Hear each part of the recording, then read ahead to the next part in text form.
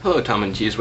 Yes, today we're going to learn how to fix my Xbox 360, but before we do, I want to tell you why we're going to learn that. It started a few weeks ago when I moved into my new apartment. You remember my new apartment, don't you? It was featured in this video. Click on the lamp. Anyway, this new apartment seemed to have a rodent problem. Me and my roommates found that there was this mouse that was much too smart, so when we couldn't catch it using this, we decided to use YouTube to see if it could solve the problem for us. And using this video, we caught the mouse in about 10 minutes. Now that's the beginning of my trusting relationship with YouTube, and today I'm ready to take it to the next level. I've had this E74 problem with my Xbox 360 for a few weeks, and I'm kind of fed up with it, especially since Best Buy and Radio Shack won't fix it for me, and that their next best recommendation is to bring it to Microsoft, who will fix it for a measly 140 But anyway, that's where I'm going with this video. I'm going to see if I can trust YouTube again, this time with a little bit more of my personal assets at stake, and see if it can teach me how to fix this Xbox.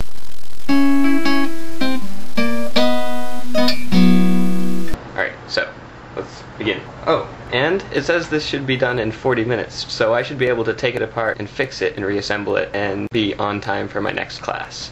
So, we'll see about that. Okay, step one. What? Okay, it says step one, disassemble your entire Xbox. I was hoping there would be a more step-by-step -step version of that. Okay. Disassemble begin! I'm using another YouTube video on how to disassemble the Xbox properly. Whoa!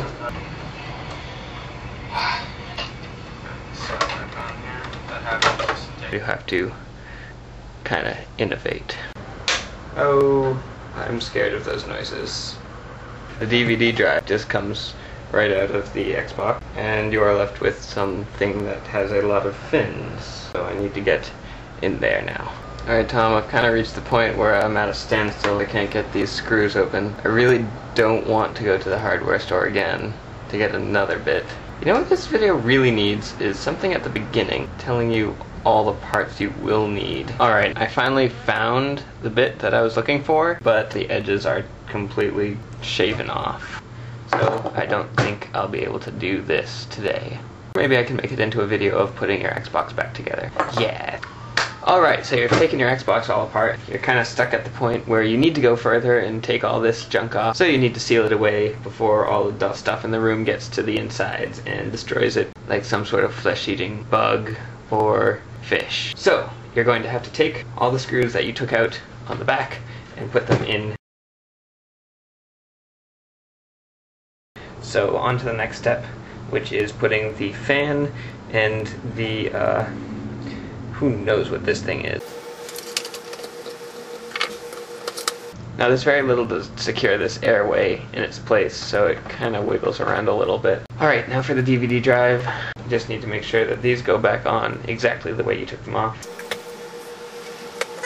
There's only one way it can fit in. Alright, so now you're going to position this piece on top using these aluminum guides and uh, make sure those stay on the outside of this aluminum frame. You can place the six screws in the proper positions. These two go in the middle holes. These two go in the top holes. And start screwing. That's what she said. Now for the left side of the box, this is backwards. Alright, back is snapped together. And the front connects in one, two, three, four places. You want the side with the little notch in the front to go towards the front. Snapped it in place. It should take all of one second. There, that was so much easier than I was making it. Alright, now for the top. See what I've done here? I forgot to apply this little piece of metal tape back on the inside. I'll be sure to fix that next time I take it apart. This part should just snap back on. Yes. All together now. Hard drive.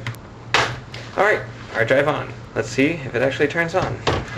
Yay, it works! Wait, I mean, it works so far as it doesn't work. Alright, so what have I learned from this little incident?